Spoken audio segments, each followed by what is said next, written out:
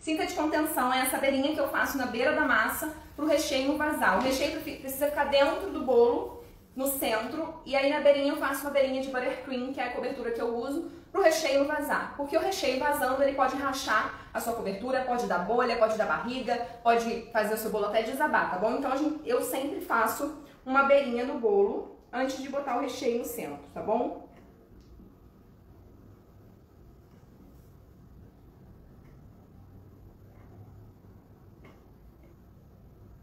Fiz a beirinha, agora eu vou colocar o nosso recheio, que é um recheio de beijinho.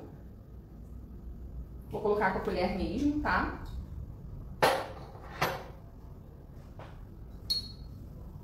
Vou colocar aqui o recheio no centro do bolo.